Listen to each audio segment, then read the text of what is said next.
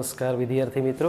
સ્વાગત છે આપ સૌનું ફરીથી આપણા સ્વાધ્યાયના સોલ્યુશનમાં. તો પ્રથમ પાઠ ઘન અવસ્થાના સ્વાધ્યાયના સોલ્યુશનમાં આપણે દસ પ્રશ્નો પ્રથમ લેક્ચરની અંદર જોયા છે.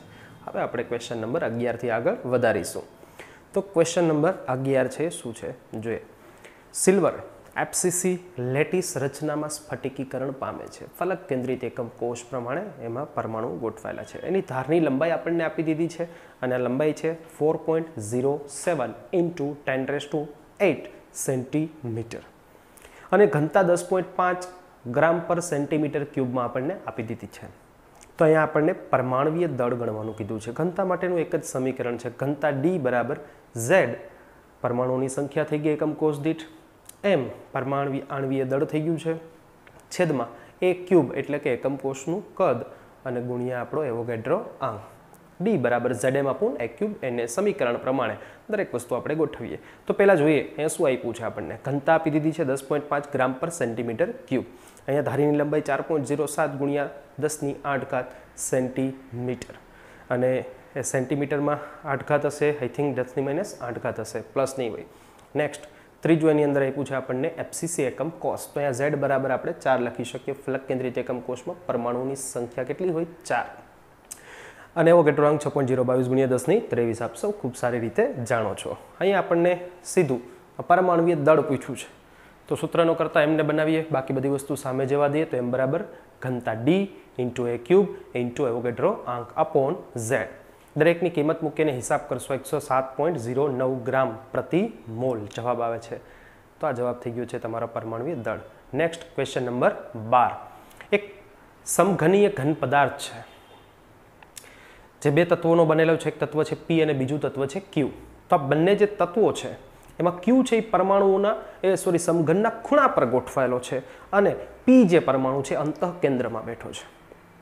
તો પી અને ક્યુ છે બેનો સવર્ગાંક કેટલો હશે અને અણુસૂત્ર શું છે આપણને પૂછ્યું છે તો ફરીથી આપણે જોઈએ કે ક્યુ છે એ ખૂણા પર ગોઠવાયેલો છે. હવે આપણને ખબર છે ખૂણો છે એ એકમ કોષમાં કેટલો હિસ્સો આપે વન બાય એટ તો ક્યુની સંખ્યા કેટલી થાય?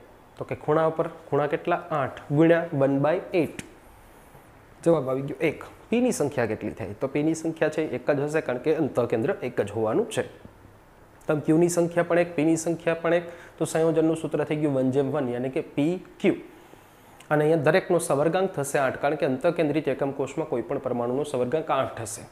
આપણે મધ્યમાં રહેલા પરમાણુને એક્ઝામ્પલ તરીકે ખૂબ સારી રીતે જોઈ શકીએ. એ આઠેય ખૂણાઓને અડે. એટલે આ સવર્ગાંક થઈ જાય છે આઠ.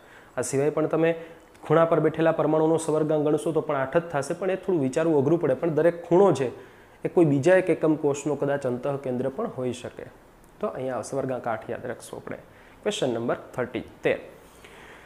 નિયોબિયમ એક અંતઃ કેન્દ્રિત સમઘનીય રચના છે, એની અંદર સ્ફટિકીકરણ પામે છે. અને આ નિયોબિયમ જે છે, એની ઘનતા આઠ પોઈન્ટ પંચાવન ગ્રામ પ્રતિ સેન્ટીમીટર ક્યુબ આપણને આપી દીધી છે. તો નિયોબિયમનું પરમાણવીય દળ શું હશે? એ પરમાણવીય દળ નાઇન્ટી થ્રી સોરી આપી દીધું છે અને આપણે એની ત્રિજ્યા પૂછી લીધી છે. તો ઘનતાનું સમીકરણ છે. એના પરથી તમે સરસ મજાનું કેલ્ક્યુલેશન કરી શકો. એ છે આપણું એ એનું કેલ્ક્યુલેશન કઈ રીતે કરશું? તો ઘનતાનું સમીકરણ મૂકીએ. એ ક્યુબને છે આપણે સૂત્રનો કરતા બનાવીએ તો બરાબર Z M upon D into એને થાય. દરેકની કિંમત મૂકીએ અને સરસ મજાનો હિસાબ કરીએ તો એ ક્યુબ બરાબર three point sixty one twenty four into ten raise to minus twenty three હવે એનું ઘનમૂળ કાઢીએ તો જવાબ આવે છે three point three zero five seven into ten to minus A centimetre એ બરાબર. આ થઈ ગઈ તમારી ધારીની લંબાઈ. હવે આપણને ખ્યાલ છે કે નિયોબિયમ જે છે, એની અંદર ધારીની લંબાઈ અને ત્રિજ્યા વચ્ચેનો સંબંધ શું છે? અંતઃ કેન્દ્રિત એકમ કોષમાં એ બરાબર. એ બરાબર. Four r by root three અને આર બરાબર root three a by four તમે લખો છો. તો આર બરાબર રૂટ થ્રી એ બાય ફોરમાં એની કિંમત મૂકો એટલે સીધો જવાબ આવશે. અને જવાબ તમારો હશે સેન્ટીમીટરમાં જેને તમે ધારા એકમમાં ફેરવી શકો છો ત્યારબાદ. પોઈન્ટ ખસેડીને. તો સેન્ટીમીટરને અહીંયા પાઇકોમીટરમાં ફેરવો તો જવાબ થઈ ગયો વન ફોર્ટી થ્રી નેક્સ્ટ એના પછી ક્વેશ્ચન નંબર ચૌદ. જો અષ્ટફલકી છિદ્રની ત્રિજ્યા છે સ્મોલ આર હોય, અને સમૃદ્ધ સંકુલન જે પરમાણુ વડે રચાય, એ પરમાણુની ત્રિજ્યા જો કેપિટલ આર હોય, તો સ્મોલ આર અને કેપિટલ આર વચ્ચેનો સંબંધ તમે તારવો. હવે અષ્ટફલકી છિદ્ર કઈ રીતે બને છે? યા તો ત્રણ નીચે અને ત્રણ ઉપર હોય, અથવા થોડું ક્રોસ કરીને જોઈએ તો ચાર સમતલમાં છે. આ એક, આ બે, આ ત્રણ અને ચાર. આ ચાર સમતલમાં છે. એક ઉપર અને એક નીચે. આવી રીતે પણ જોઈ શકાય. ઉપર નીચેવાળાને કેન્સલ કરો. અને આ જે ચાર છે, એને જુઓ. જે અહીંયા તમને આકૃતિમાં જોઈ શકો છો. એ ચાર પરમાણુ છે, એ શું કરે? સવૃત સંકુલન રચે છે. અને એની ત્રિજ્યા કેપિટલ આર છે, મોટા જે ગોળાઓ દેખાય છે. અને એમની વચ્ચે જે આ સ્મોલ આર અને બી લખ્યા છે, એ અષ્ટફલકીય છિદ્ર છે. પરંતુ છિદ્ર વ્યવસ્થિત આકારમાં આપણે જોઈ શકતા નથી, એ જુદી વાત છે, પણ એ અષ્ટફલકીય છિદ્ર છે. જ્યાં એક નાનકડો પરમાણુ બેઠો હોય, તો એની ત્રિજ્યા સ્મોલ આર છે. ક્યાં? એ ચારેય મોટા ગોળાની વચ્ચે જે ખાંચો પડે છે ત્યાં અષ્ટફલકી છિદ્ર જ્યાં કોઈ પરમાણુ બેઠો હોય, તેની ત્રિજ્યાથી સ્મોલ આર છે. અને મોટા જે ગોળાઓ છે, એની ત્રિજ્યા કેપિટલ આર છે, તમે જોઈ શકો છો. તો નીચે જે ત્રિકોણ રચાણું છે અહીંયા, સરસ મજાનું એક ત્રિકોણ અહીંયા તમે જોઈ શકો છો. એ અને સી અને ઉપર બી તો એ બી સી જે ત્રિકોણ રચાણું છે, મોટો ગોળો જે એ છે, એની ત્રિજ્યા કેપિટલ આર સીની પણ ત્રિજ્યા કેપિટલ આર છે અને નાની ત્રિજ્યા છે, એ સ્મોલ આર છે, તમે વચ્ચે જોઈ શકો છો. તો કેલ્ક્યુલેશન અહીંયા તમારે શું કરવાનું છે? તો પાયથાગોરસનો પ્રમાણ લગાડવાનો છે, કારણ કે ત્રિકોણ એ બી અને સીમાં એ બી સી જે ખૂણો છે નાઇન્ટી ડિગ્રી કાટખૂણો છે. એટલે તમે નીચે જે એસી સ્ક્વેર છે, એના બરાબર તમે એબી સ્ક્વેર અને બીસી સ્ક્વેર લખી શકો. હવે એસી શું છે? તો કે એસી છે બે મોટા ગોળાઓની ત્રિજ્યા, મતલબ ટુ આર થાય. તો તમે જોઈ શકો એસી સ્ક્વેર બરાબર ટુ આર સ્ક્વેર થાય. હવે એ બી શું છે? એ બી શું છે? મોટી ત્રિજ્યા આર પ્લસ નાની ત્રિજ્યા small R R plus R છે એ બી છે. બીસી પણ એવી જ રીતે મોટો આર અને નાનો આર છે એનો સરવાળો છે. તો બીસી સ્ક્વેર અને એબી સ્ક્વેર બરાબર પ્લસ આર મોટો અને નાનો જે છે, બેનો સરવાળો છે એનો સ્ક્વેર કર્યો છે. તમે જોઈ શકો છો. હવે બધાનો હિસાબ કરીએ તો ટુ આર સ્ક્વેર બરાબર ફોર આર સ્ક્વેર થાય, એનો સ્ક્વેર કરીએ તો. અને બરાબર થાય two times capital R plus small R square અને ટુ આર સ્ક્વેર આપણે કરીએ ટુ છે એ સામેથી ઉડાડી દઈએ છીએ, તો ટુ આર સ્ક્વેર બરાબર કેપિટલ અને સ્મોલ આર સ્ક્વેર હવે આપણે એનું વર્ગમૂળ કાઢી લઈએ, તો રૂટ ટુ આર બરાબર આર પ્લસ આર હવે સ્મોલ આર બરાબર આર મોટો છે ને સામે જવા દઈએ તો small R is equal to root two R minus R R common કાઢી લઈએ તો root two minus one what is root two root two is one point four one four one minus one તો અહીં જવાબ આવશે small R is equal to point four one four capital R અને જો બેનો ભાગાકાર કરીએ તો small R upon capital R મતલબ કે અષ્ટફલકી છિદ્રની ત્રિજ્યા ભેગા ગોળાની ત્રિજ્યા. બરાબર? પોઈન્ટ ફોર વન ફોર ચલો નેક્સ્ટ ક્વેશ્ચન નંબર પંદર ઉપર જઈએ આપણે. કોપરની વાત કરી છે કોપર એફસીસી લેટિસ પ્રમાણે સ્ફટિકીકરણ પામે છે અને તેની ધારની લંબાઈ three point sixty one into ten to minus eight centimetre આપણને આપી દીધી છે. તો આવા સરસ મજાના કોપરની અંદર એ દર્શાવવાનું કીધું, ગણતરી કરવાની કીધી કે એની જે માપેલી ઘનતા છે એ એની મૂળ ઘનતા eight point nine two gram પર સેન્ટીમીટર ક્યુબ એની આજુબાજુમાં થાય છે કે કેમ? ચાલો અહીંયા શું શું આપણને આપી દીધું છે? કોપર છે એફસીસી પ્રમાણે એફસીસી એટલે ઝેડ બરાબર ચાર મગજમાં બેસી ગયું આપણને. એની ધારની લંબાઈ three point sixty one into ten to minus eight centimetre આપી દીધી છે. ઘનતા આઠ પોઈન્ટ બાણું ગ્રામ પર સેન્ટીમીટર ક્યુબ અહીંયા આપી છે આપણને. મોલર દળ છે કોપરનું ત્રેસઠ પોઈન્ટ પાંચ ગ્રામ પર મોલ તો કિંમતો મૂકીએ ઘનતાના સમીકરણમાં ઘનતા બરાબર Z M upon A cube N A અહીંયા ઝેડ છે એ ચાર છે એમ આપણને ખબર છે ત્રેસઠ પોઈન્ટ પાંચ અપોન એ ધારની લંબાઈ three point sixty one into ten to minus eight એનો ક્યુબ કરી દઈએ. અને એવોગેડ્રો આપ આપશો જાણો છો. હિસાબ કરતાં ઘનતા આવે છે eight point nine seven gram પર મોલ જે આપેલી ઘનતાની લગભગ આજુબાજુમાં જ છે એવું આપણે સાબિત કર્યું. તો માત્ર ઘનતા ગણવાની કીધી, બીજો કંઈ કન્ફ્યુઝિંગ અહીંયા છે નહીં. નેક્સ્ટ સિક્સટીન ક્વેશ્ચન નંબર સોળ. પૃથ્થકરણ કરો અને દર્શાવો કે નિકલ ઓક્સાઇડની અંદર, નિકલનો ઓક્સાઇડ કેવો છે? જેમાં નિકલ પોઈન્ટ નાઇન્ટી એટ અને ઓક્સિજન વન મતલબ કે ઋણ આયન ઓક્સિજન કરતાં નિકલ પ્રમાણમાં થોડું ઓછું છે. તો અહીંયા અહીંયા નિકલ પ્લસ ટુ અને નિકલ પ્લસ થ્રી એ બેનું પ્રમાણ છે એ કેટલું હશે? ટકાવારીની અંદર પણ તમે દર્શાવો અને આમ પણ દર્શાવો. તો ધાતુ અણુક્ષતિના એક્ઝામ્પલમાં આપણે જોઈ ગયા છે એફીનું એક્ઝામ્પલ લીધું હતું. ત્યાં પણ એફી પ્લસ ટુ હોઈ શકે અને એની જગ્યાએ કેટલાક ધરારથી એફી પ્લસ થ્રી બેસે એટલે ધાતુ અણુક્ષતિનું સર્જન થાય છે. તો જોઈએ NI ninety point ninety eight O વનની અંદર. અહીંયા નિકલ પ્લસ ટુ અને નિકલ પ્લસ થ્રી બંને હાજર હશે. એની સંખ્યા ગણવાની છે. તો નિકલ પ્લસ ટુની સંખ્યા ધારી લીધી છે એક્સ અને નિકલ પ્લસ થ્રીની સંખ્યા ટોટલ નાઇન્ટી એઇટ છે, એમાંથી એક્સ જાય એટલી આપણે ધારી શકીએ છીએ. આ બંનેની સંખ્યા ધાર્યા પછીનું સ્ટેપ અહીંયા શું હશે? ખાસ યાદ રાખવાનું. યાદ રાખજો, કોઈ પણ સંયોજન તટસ્થ હોય તો એની કુલ ઓક્સિડેશન અંકનો સરવાળો ઝીરો થાય, એનો વીજભાર કેવો થાય? ઝીરો. તો કેટલા કેટલી સંયોજનોની વાત આપણે સંયોજનમાં કેટલા તત્વોની વાત કરશું, આયનોની વાત કરશું તો કે નિકલ પ્લસ ટુ છે, વત્તા નિકલ પ્લસ થ્રી છે અને વત્તા એક ઓક્સિજન છે. બધાના ઓક્સિડેશન અંકનો સરવાળો કેટલો થાય? ઝીરો. તો નિકલ પ્લસ ટુની વાત કરીએ. એનો ઓક્સિડેશન અંક બે છે ને એની સંખ્યા એક્સ છે એટલે ટુ એક્સ લખ્યું. નેક્સ્ટ એના પછી. જેનો ઓક્સિડેશન અંક ત્રણ છે, જેની સંખ્યા point ninety eight minus X છે. એનો સરવાળો કરીને મૂક્યો. ત્રીજું, ઓક્સિજનની વાત કરીએ. જેની સંખ્યા એક છે ને એનો વીજભાર માઇનસ બે છે. તો ટોટલ કરીએ હવે આપણે. ટુ એક્સ વત્તા હિસાબ કરીએ અહીંયા તો two point ninety four minus three X minus two બરાબર ઝીરો. તો અહીંયા માઇનસ એક્સ બરાબર minus ninety four. Minus minus cancel out કરીએ તો એક્સ બરાબર નાઇન્ટી ફોર આવે છે. તો પોઈન્ટ નાઇન્ટી ફોર છે પ્લસ ટુ. નિકલ પ્લસ ટુની સંખ્યા થાય કારણ કે નિકલ પ્લસ ટુ બરાબર આપણે શું ધરેલું છે? એક્સ. તો એક્સ બરાબર પોઈન્ટ નાઇન્ટી ફોર. તો નિકલ પ્લસ થ્રી કેટલો હશે? ટોટલ પોઈન્ટ નાઇન્ટી એઇટ છે અને એમાંથી એક નિકલ પ્લસ ટુ છે એ નાઇન્ટી ફોર છે.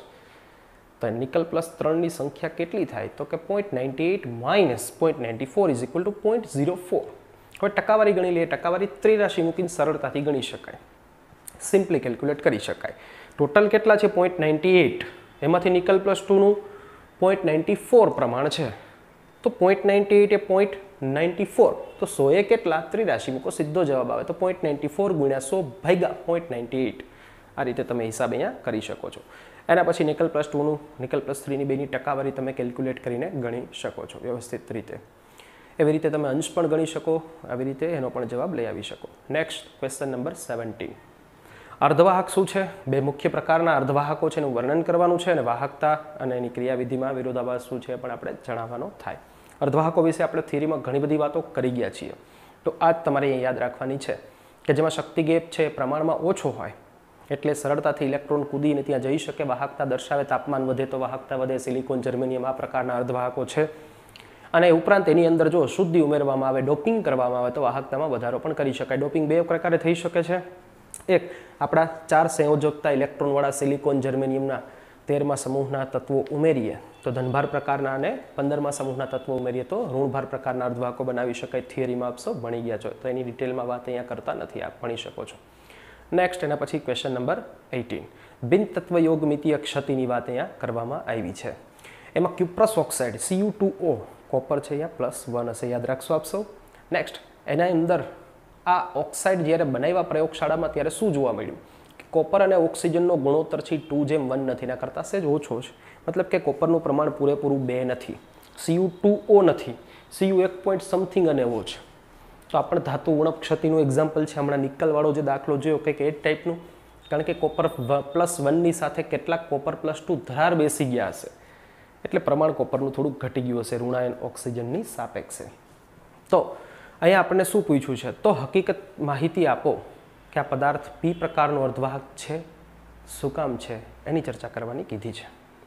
તો સ્વાભાવિક રીતે જ કોપર ટુ ઓ ક્યુપ્રસ ઓક્સાઇડની અંદર શું થાય કે કોપર પ્લસ વનની સાથે કેટલાક કોપર પ્લસ ટુ ધરારથી બેસે. પ્લસ ટુવાળો કોપર શું કરશે? તો કે પ્લસ ટુવાળો એક કોપર એન્ટર થાય એટલે પ્લસ વનવાળા બે કોપરને નીકળવું પડે. ટુવાળો એક આવે એકવાળા બે જાય. એટલે શું થાય? તો કે પ્લસ વનવાળા બે કોપર જાય, એમાંથી એકની જગ્યાએ પેલો કોપર બેસે, બીજાની જગ્યા ખાલી પડે. કોની જગ્યા ખાલી પડે છે? કોપર પ્લસ વનની જેના કારણે અહીંયા ધનભારિત આયનની જગ્યા ખાલી પડે છે. એના કારણે આપણે જે છિદ્ર રચાય છે, એના કારણે ધનભારિત છિદ્ર રચાય, એના કારણે એને પી પ્રકારના અર્ધવાહક છે, એ ટાઈપનું કંઈક કહી શકીશું. નેક્સ્ટ ક્વેશ્ચન નંબર નાઇન્ટીન ઓગણીસ. ફેરિક ઓક્સાઇડ સરસ મજાનો ક્વેશ્ચન છે, ખાસ જોવા જેવો છે. ફેરિક ઓક્સાઇડ ફેરિક અને ફેરસ બે પ્રકારના ઓક્સાઇડ હોય. ફેરિક એટલે એફી ટુ અને ફેરસ એટલે એફી ઓ ફેરિકમાં એફી છે પ્લસ થ્રી હશે. તો પ્લસ થ્રી વાળો ફેરિક ઓક્સાઇડ છે, એની અંદર શું પૂછ્યું છે? ઓક્સાઇડ આયન છે, ષટકોણીય સમૃદ્ધ સંકુલન. મતલબ ઓક્સાઇડ આયન છે, એ સંકુલન બનાવે છે. ગોળો છે, એ ઓક્સાઇડ છે. અને કયું? હેક્ઝાગોનલ ક્લોઝ પેક એચસીપી રચના બનાવે છે. અને જેમાં ત્રણ, દર ત્રણ અષ્ટફલકીય છિદ્રોની સામે બે છિદ્રો છે ફેરિક આયન વડો ભરાયેલા છે. તો ઓક્સિજન ગોળાઓ છે, એની વચ્ચે અષ્ટફલકી છિદ્રો બન્યા છે. અને એમાં ફેરિક આયન કેટલા અષ્ટફલકી છિદ્રોમાં બેઠું છે? દર ત્રણ છિદ્રોએ બેમાં એ બેઠું છે. તો પહેલાં આપણે થોડું કેલ્ક્યુલેશન જોઈએ. કે ધારો કે એ ઓક્સિજન જે અષ્ટફલકી રચના બનાવેની સંખ્યા આપણે ધારી લીધી છે એક્સ તો એમાં અષ્ટફલકી છિદ્રો ટોટલ કેટલા બન્યા હશે? એક્સ ગોળાઓની સંખ્યા જેટલા જ અષ્ટફલકી છિદ્રો બને. જો ગોળાઓની સંખ્યા એન તો અષ્ટફલકી છિદ્રોની સંખ્યા પણ એન હા, ચતુષ્ફલકી છિદ્ર બમણા હોય. તો અહીંયા આપણે ઓક્સાઇડ જે ગોળા છે, એની સંખ્યા એક્સ ધારી તો એમાં બનતા અષ્ટફલકી છિદ્રોની સંખ્યા પણ એક્સ જ થશે. હવે એ મુદ્દો સાઈડમાં મૂકો અને અલગથી નવેસરથી વિચારવાનું છે. જો, શું લખ્યું? ત્રણ અષ્ટફલકી છિદ્રોમાંથી બે છિદ્રો છે. એ એફી પ્લસ થ્રી વડે રોકાયેલા છે. ત્રણે બે ત્રિરાશિ મૂકું છું. ત્રણ અષ્ટફલકી છિદ્રોએ બે એફી પ્લસ થ્રી ગોઠવાયેલા છે. તો ટોટલ એક્સ જેટલા અષ્ટફલકી છિદ્રો છે, એમાં કેટલા? એફી પ્લસ થ્રી ગોઠવાયેલા હશે. કેટલા?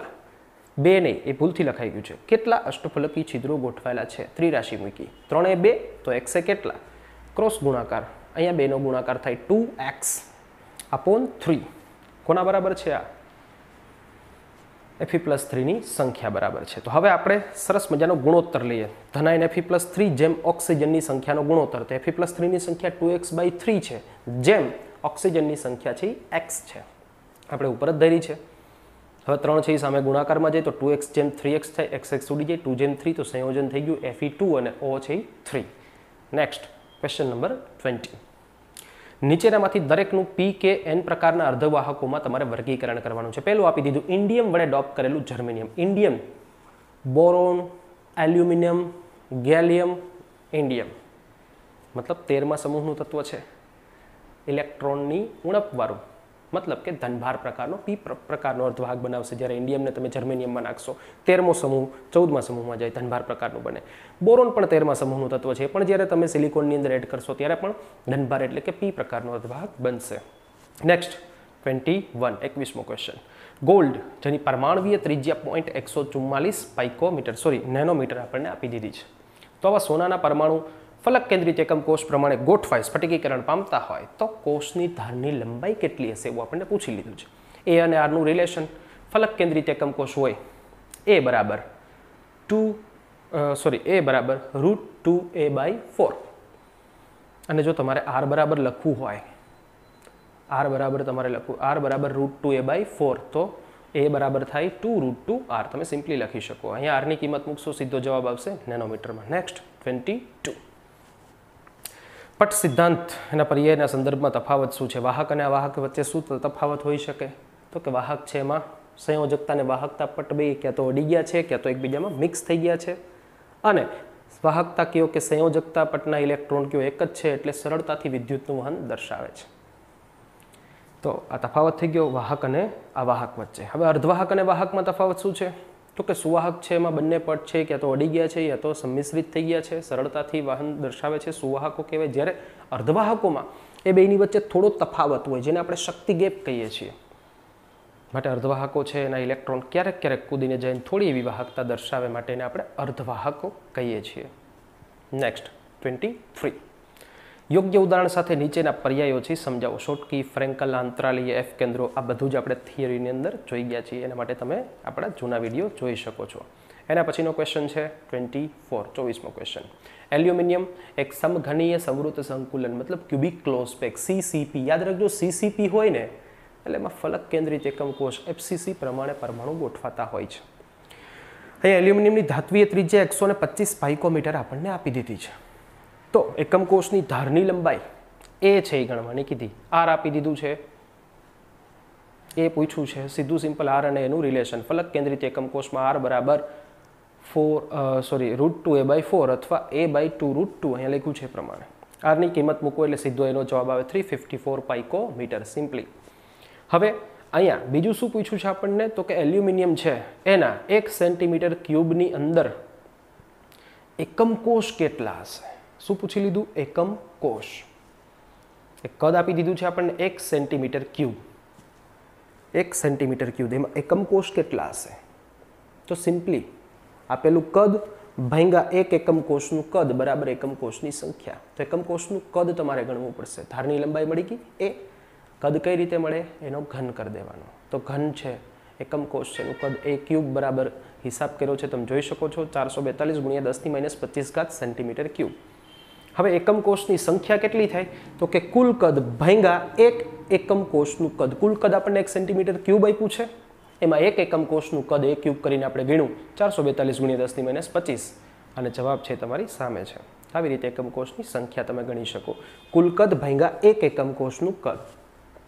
નેક્સ્ટ એનએસીએલની વાત કરી. તો એનએસીએલના અંદર દસની માઇનસ ત્રણ ઘાત mole percent SRCL two add કરવામાં આવે અશુદ્ધ ક્ષતિનું એક્ઝામ્પલ છે, આપ સૌ જાણો છો કે એનએસીએલના જલીય દ્રાવણની અંદર C SRCL two strontium chloride add કરવામાં આવે અને પછી સ્ફટિકીકરણ કરવામાં આવે, તો સોડિયમ ક્લોરાઇડના સ્ફટિકમય ટુકડામાં કેટલાક સોડિયમની જગ્યાએ સ્ટ્રોન્સિયમ દાખલ થાય. સોડિયમ પ્લસ વન છે અને સ્ટ્રોન્સિયમ પ્લસ ટુ છે. એક સ્ટ્રોન્સિયમ આવે, જેનો વીજભાર ટુ છે. એક સ્ટ્રોન્સિયમ આવે તો પ્લસ વનવાળા બે સોડિયમ દૂર થાય, જેમાં એક સોડિયમની જગ્યાએ સ્ટ્રોન્સિયમ બેઠ, બેસે અને બીજા સોડિયમની જગ્યા ખાલી પડે. એક સ્ટ્રોન્સિયમ આવે, બે સોડિયમ જાય, એકની જગ્યાએ સ્ટ્રોન્સિયમ બેસે, બીજાની જગ્યા ખાલી રહી. તો જેટલા સ્ટ્રોન્સિયમ ક્લોરાઇડ નાખ્યા છે, એટલી જગ્યાઓ ખાલી પડશે. એ પૂછ્યું છે, તો ધનાયન અવકાશની સાંદ્રતા કેટલી હશે? અવકાશની સંખ્યા કેટલી હશે? એવું આપણને પૂછી શકે. સાંદ્રતા મને સંખ્યા જ પૂછી છે. જેટલા એસઆરસીએલ ટુ નાખ્યા છે, એટલા એસઆર પ્લસ ટુ નાખ્યા છે, એટલે એટલી જગ્યાઓ ખાલી પડી હશે એ ગણવાનું છે. તો માત્ર આપણે કેલ્ક્યુલેશન કરવાનું છે એસઆર સીએલ ટુની સંખ્યા કેટલી છે. ખાલી જગ્યાઓ પૂછી. જેટલા એસઆર પ્લસ ટુ નાખીએ, એટલી ખાલી જગ્યા પડે. જેટલા એસઆર સીએલ ટુ નાખીએ, એટલા એસઆર પ્લસ ટુ નહીં ખાશે તો સિમ્પલ મુદ્દો થઈ ગયો. પરંતુ મોલ પર્સન્ટ છે એ થોડું કન્ફ્યુઝિંગ છે. સિમ્પલી દસથી માઇનસ ત્રણ ઘાત મોલ પર્સન્ટ શું છે? આપણે સમજી લઈએ. ટકાવારી એપી છે એટલે સોમાંથી નીકળે. સોમાંથી દસની માઇનસ ત્રણ, લખવાનું એટલું. ટકાવારી એપી છે તો સોએ દસની માઇનસ ત્રણ ત્રિરાશિ મૂકું છું.